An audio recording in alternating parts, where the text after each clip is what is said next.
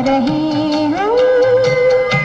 महका करेंगे छुप गया कोई रे दूर से पुकार के दर्द हिंदी सिनेमा की एक दमदार और खूबसूरत अभिनेत्री जिनका बंगाली फ़िल्मों से लेकर बॉलीवुड में डंका बजता था। तेरे बिना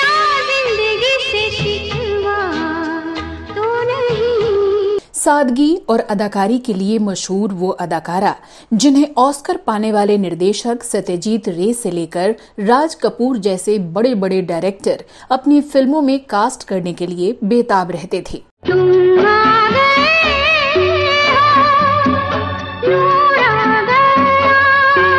हिरनी जैसी आँखों वाली लड़की, जो बंगाली ब्यूटी और बंगाल की मधुबाला के नाम से जानी जाती थी, और आज भी कला, खूबसूरती और रहस्य की मिसाल के तौर पर याद की जाती हैं। देखने में भूला है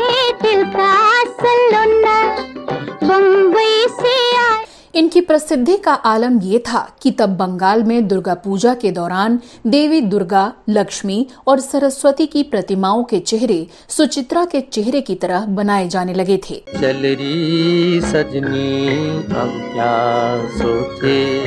कजरा ना बह जाए। लेकिन क्या आप जानते हैं कि जिस दौर में हीरोइनों को हीरो के आधी फ़ीस भी नहीं मिला करती थी तब ये ज़्यादातर मेल एक्टर से ज़्यादा पैसे चार्ज किया करती थी। अगर जनता को मुझसे नफरत है तो मुझे हटाने के लिए उन्हें मुझसे इजाज़त नहीं लेनी पड़ेगी। जनता काम और कर्तव्य दोनों जानती है। क्या आपको पता है कि ये सिर्फ़ अपने उसूलों पर काम करती थीं और दादा साहब फाल्के जैसा प्रतिष्ठित अवार्ड भी ठुकरा दिया था? दीवाना मस्ताना हुआ दिल जाने कहाँ होके बा। और क्या आप यकीन करेंगे कि महज 15 साल की उम्र में इनका बाल विवाह कर दिया गया था? जब ये 16 साल की थीं तो बेटी का जन्म हो गया।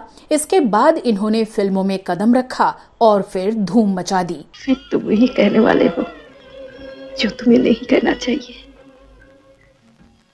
मैं मैं सब कुछ चाहती हूँ।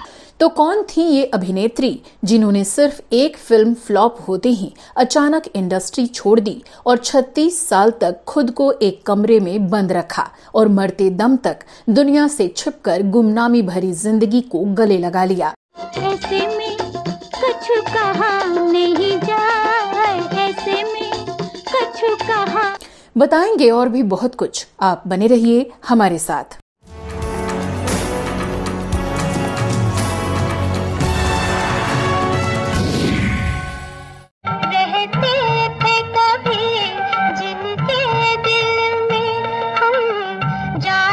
नमस्कार दोस्तों, मैं हूँ श्वेता जया और आप देख रहे हैं फिल्मी बातें। दोस्तों, आज हम जिस फिल्मी हस्ती की कहानी बयां कर रहे हैं, वो है हिंदी और बांग्ला फ़िल्मों की दिग्गज अभिनेत्री सुचित्रा सेन। डैडी, मेरी ज़िंदगी को अपना बिज़नेस मत बनाइए। मैं राजनीति में जा रही थी तो देश की सेवा के लिए, आपकी दुकान चलाने के लिए नहीं। और छोड़ रही हूँ तो अपना घर बसाने के लिए। एक दौर था जब सुचित्रा सेन बांग्ला सिनेमा की टॉप एक्ट्रेस हुआ करती थी। तो साथ ही इन्होंने हिंदी सिनेमा में भी अपनी दमदार अदाकारी से हर किसी को प्रभावित किया। बेहद कम उम्र में शादी होने के बाद भी इन्होंने फ़िल्मों में शानदार करियर बनाया और दर्जनों ब्लॉकबस्टर फ़िल्मों का हिस्सा रहे। ये सिर्फ़ प्यार है। किसी को गोली मारकर खत्म करना आसान है। लेकिन उससे प्यार और मोहब्बत कायम रखना मुश्किल होते हुए भी इंसान का फर्ज है बड़ी बात ये कि सुचित्रा सेन विदेश में अवार्ड पाने वाली पहली भारतीय अभिनेत्री रहीं 1963 में सुपरहिट फिल्म सात पाके बाधा के लिए इन्हें मॉस्को फिल्म फेस्टिवल में सर्वश्रेष्ठ एक्ट्रेस के अवार्ड से सम्मानित किया गया পিসিমা কোথায় কেন আমি জানতে চাই পিসিমা কোথায় কাশি চলে গিয়েছেন কেন গিয়েছেন এখানে থাকা তার পক্ষে সম্ভব হলো না আহ, বলে কেন এখানে থাকা সম্ভব হলো না এই কথা আমাকে বলবে তো तो अब चलिए सबसे पहले जानते हैं कि कौन थी सुचित्रा सेन और क्या था इनका फैमिली बैकग्राउंड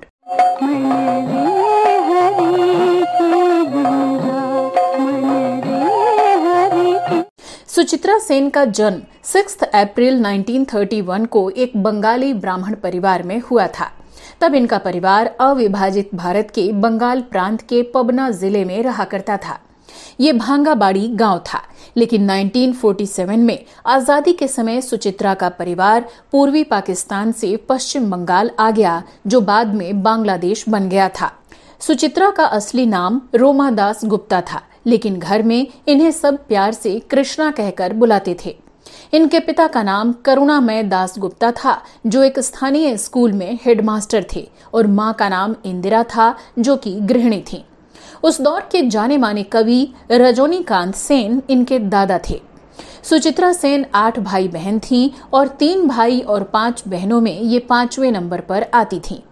सुचित्रा सेन ने अपनी स्कूल की पढ़ाई पबना के गर्ल्स स्कूल से पूरी की, लेकिन फिर शिफ्ट होने के साथ ही 1947 में परिवार ने कम उम्र में ही बेटी की शादी करवा दी, एक तरह से बाल विवाह, जो कि तब आम हुआ करता था। तब सुचित्रा सेन की सिर्फ़ 15 साल की उम्र थी।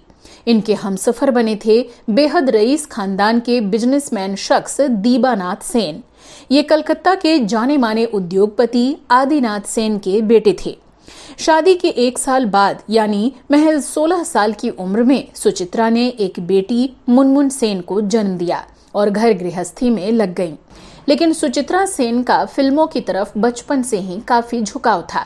ये एक्ट्रेस बनना चाहती थी, पर शादी और बच्ची के जन्म से ये बेहद कम उम्र में ही भारी जिम्मेदारियों के बोझ तले दब गईं।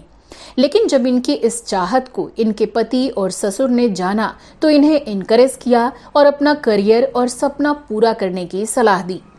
पश्चिम बंगाल में तब फ़िल्मों को कला के मंच के तौर पर देखा जाता था।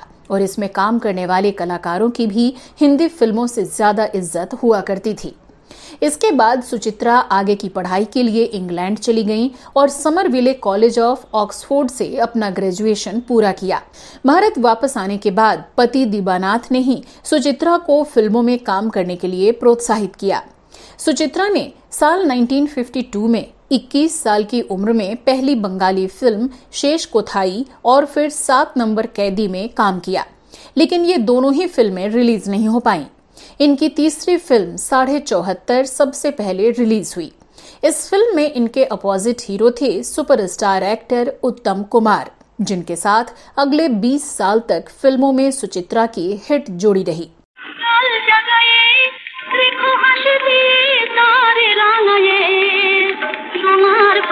बताया जाता है कि सुचित्रा ने अपने करियर में इकसठ में से लगभग 30 फिल्में उत्तम कुमार के साथ ही की और इन दोनों की जोड़ी पर बंगाल में दर्शक जान छिड़कते थे সূর্য ডুবার পালা আসে যদি আসুক বেশ তো लेकिन फिलहाल आज के एपिसोड में हम इनकी बंगाली फिल्म नहीं बल्कि सिर्फ हिंदी फिल्मों की बात करेंगे जो कि महज छह या सात ही रही होंगी लेकिन कमाल की रही तो 1955 में फ़िल्म देवदास से इन्होंने हिंदी सिनेमा में डेब्यू किया।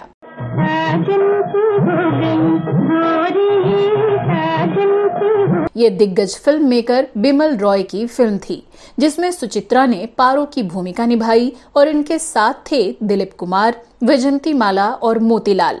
मैं तुम्हारे कलम की बात सोच रहा था पारो। मेरे कलंक की बात? मुझ पर कोई कलंक नहीं। अगर इस बात के लिए मेरी निंदा हो कि मैं तुम्हारे पास छुप कर आई थी तो ये निंदा मुझे न लगी। फ़िल्म सुपर डुपर हिट रही और इन सभी कलाकारों के करियर के लिए मील का पत्थर साबित हुई। पारो क्या मुझे बिल्कुल भूल गई हो? तुम जैसे चंचल चिताबी पर मुझे कोई विश्वास नहीं। मेरे माता पिता मेरी मंगल कामना करते हैं। उन्होंने जो किया है मेरी भलाई के लिए किया है। तुम रास्ता छोड़ दो। 1957 में इनकी दूसरी हिंदी फ़िल्म आई मुसाफिर। जिससे ऋषिकेश मुखर्जी ने एक डायरेक्टर के तौर पर डेब्यू किया था। फ़िल्म में तीन अलग अलग कहानियाँ थीं जिसमें सुचित्रा लीड रोल में थी। बस बस बंद करो ये कविता। देखो ना डाक पर से कितना अच्छा पर्चा मिला है। शायद ही पहले के किराएदार छूट गए। शकुंतला वर्मा के किरदार में सुचित्रा सेन ने खुद को काफ़ी अच्छी तरह से ढाला था और खूब पसंद भी की गईं। तुम रो रही हो शकुंतला? क्यों तुम मुझे यहाँ ले आई? क्यों बदनामी की गठरी सर पे उठा ली? अगर तुम्हारे माँ बाप क्षमा न करे तो? इसके बाद इसी साल इनकी एक और हिंदी फ़िल्म आई चंपाकली जिसमें भारत भूषण प्राण और मुबारक की मुख्य भूमिकाएँ थीं। खुली हवा में डोले रे आज मेरा मन बोले दिल के बहार लेके। इस फ़िल्म के कुछ गाने इस कदर हिट हुए कि लोगों की ज़ुबान पर चढ़ गए। छुप गया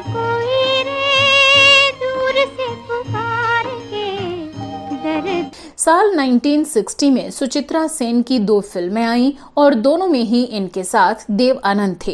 इनमें से एक फ़िल्म थी बम्बई का बाबू जो राज खोसला डायरेक्टेड एक बेहतरीन फ़िल्म साबित हुई। देखने में भूला है दिल का बम्बई से फ़िल्म तो सुपरहिट हुई ही साथ ही इसके गाने भी खूब लोकप्रिय हुए। दीवाना मस्ताना हुआ दिल जाने कहा होके बाहर तो वहीं दूसरी फ़िल्म थी सरहद जिसमें इनके साथ धूमल और मोनी चटर्जी जैसे कुछ बंगाली कलाकारों ने भी काम किया। छोड़ के किसी इस बीच सुचित्रा बंगाली फ़िल्मों में भी लगातार काम करती रहीं और एक के बाद एक दर्जनों ब्लॉकबस्टर फ़िल्में देती रहीं। छह साल बाद इनकी एक और हिंदी फ़िल्म आई 1966 में रिलीज़ बेहतरीन फ़िल्म ममता, जिसमें इनके साथ अशोक कुमार और धर्मेंद्र ने काम किया था। चाहे तो मुरादिया ले ले सवरिया चाहे तो ममता फ़िल्म का एक गाना रहे न रहे हम इस कदर हिट हुआ कि सुचित्रा सेन की पहचान बन गया और आज भी उसी शिद्दत से लोग इस गाने को गुनगुनाते हैं। रहे न रहे हम महका करेंगे। 1975 में गुलजार साहब ने एक फ़िल्म बनाई आंधी जिस फ़िल्म को कल्ट क्लासिक का दर्जा दिया गया। और फ़िल्म में निभाया गया सुचित्रा सेन का किरदार जैसे हमेशा के लिए अमर हो गया। तेरे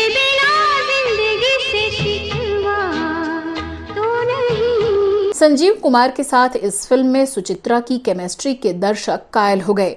इस फ़िल्म के गाने भी सुपर डुपर हिट रहे जो आज भी करोड़ों लोगों की प्लेलिस्ट में ज़रूर शामिल होंगे।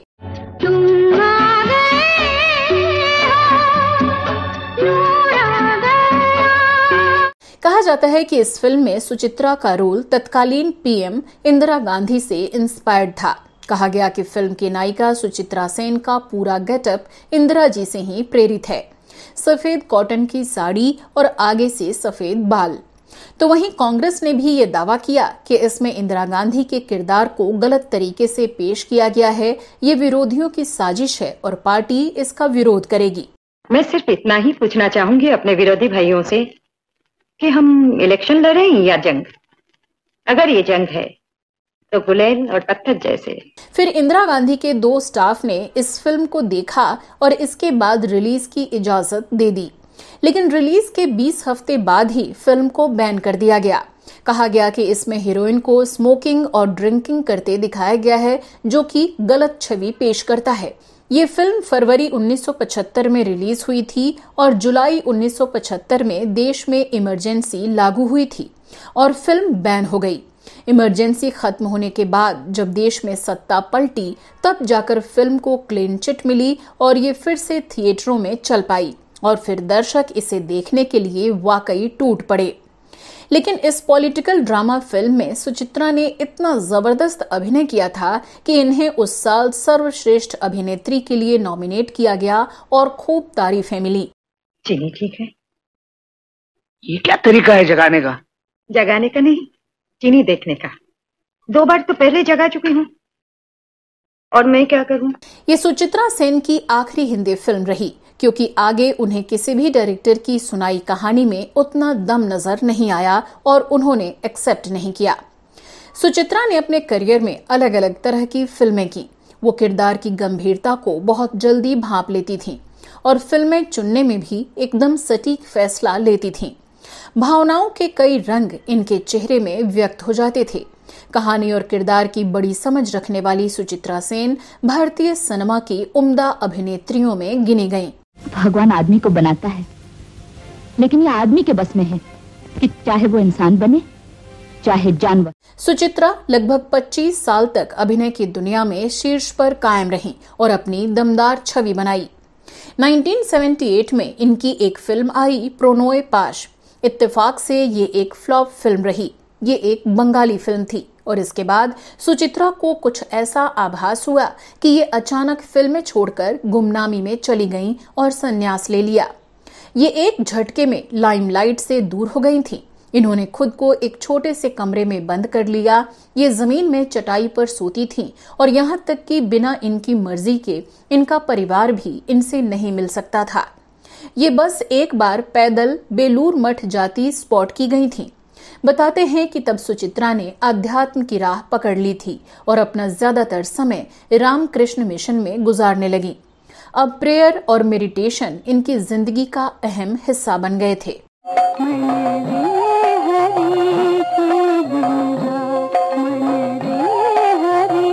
तब इनकी तुलना Swedish great actress Greta Garbo से की गई, जिन्होंने कामयाबी के शिखर पर पब्लिक लाइफ को छोड़कर एकांतवास को अपना लिया था। इनकी पर्सनल लाइफ की बात करें तो इनके पति बाद में अमेरिका चले गए थे। कुछ बंगाली अखबारों ने छापा कि वो एक्ट्रेस पत्नी के साथ तालमेल नहीं बिठा पा रहे थे। साथ ही उन्हें जुए और शराब की लत थी, जिससे पति पत्नी में मनमुटाव शुरू हो गया था। तो साथ ही बेहद अमीर पति और बेहद शोहरतमंद पत्नी के अहम भी टकराने लगे थे। और फिर दीबानाथ सेन, पत्नी और बेटी को छोड़कर विदेश जा बसे। सुचित्रा सेन तब बहुत दुखी हुई और साथ ही पति से नाराज़ भी। लेकिन जब 1970 में अमेरिका के मैरीलैंड के बाल्टीमोर में एक हादसे में उनकी मौत हो गई, तब सुचित्रा का सारा गुस्सा काफूर हो गया और ये लंबे वक्त तक अफसोस में रही। छुप गया कोई रे, दूर से पुकार के, दर्द सुचित्रा सेन की बेटी मुनमुन सेन भी माँ के नक्शे कदम पर चलते हुए बंगाली फ़िल्मों के साथ हिंदी फ़िल्मों में भी नज़र आईं और एक अभिनेत्री के तौर पर अपनी पहचान बनाई।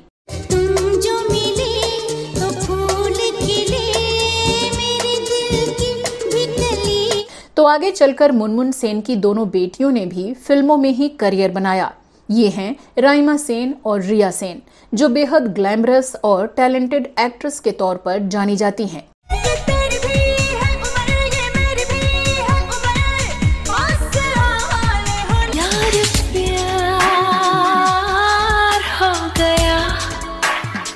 कहा जाता है कि सुचित्रा फ़िल्मों का चयन करने में कोई ढिलाई नहीं बरतती थीं।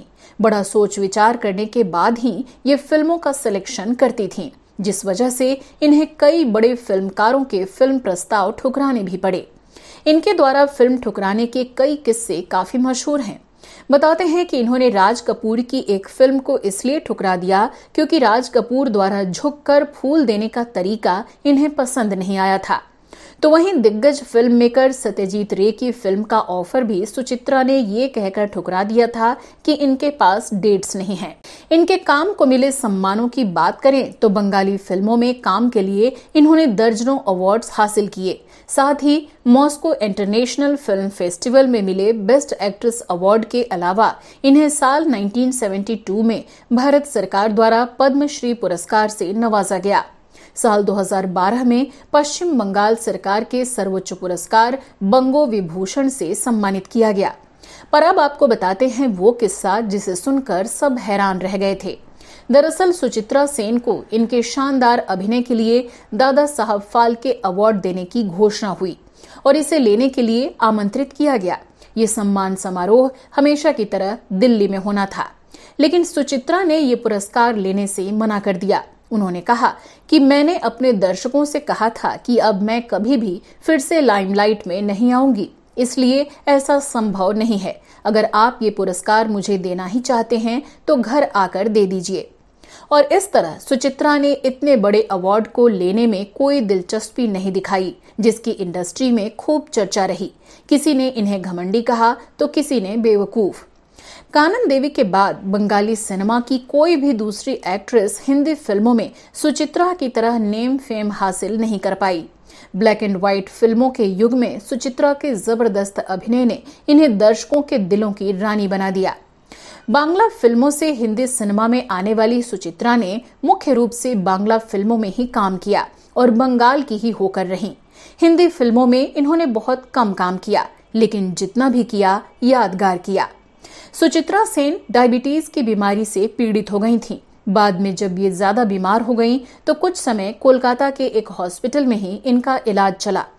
और 17 जनवरी 2014 को बयासी साल की उम्र में हार्ट अटैक से सुचित्रा सेन का निधन हो गया। इनके निधन की खबर से पूरा देश दुखी था। इनके कद का अंदाज़ा आप इसी से लगा सकते हैं कि तब भारत के तत्कालीन प्रेसिडेंट प्रणब मुखर्जी, तत्कालीन प्रधानमंत्री मनमोहन सिंह, बांग्लादेश की पीएम शेख हसीना और बीजेपी के prime ministerial candidate Narendra Modi सहित सैकड़ों बड़े पॉलिटिशियंस ने इनके निधन पर शोक ज़ाहिर किया था। साथ ही वेस्ट बंगाल की चीफ मिनिस्टर ममता बनर्जी ने क्रिमेशन से पहले गन सैल्यूट से सुचित्रा सेन को आखिरी सलामी दिलवाई। आज सुचित्रा सेन हमारे बीच नहीं है लेकिन इनके चाहने वालों के दिलों में ये हमेशा ज़िंदा रहेंगी। रहे न रहे हम करेंगे। हिंदी और बांग्ला दर्शक जब भी इनकी बेहतरीन फ़िल्में देखेंगे इनकी अभिनय क्षमता और खूबसूरती की चर्चा ज़रूर करेंगे। ऐसे कलाकारों ने ही अंतर्राष्ट्रीय पटल पर हमारे सिनेमा को मज़बूत पहचान दी है। भारतीय सिनेमा में इनके अमूल्य योगदान को हमेशा याद किया जाएगा और इनका नाम स्वर्ण अक्षरों में लिखा जाएगा। बनके बन के सबा,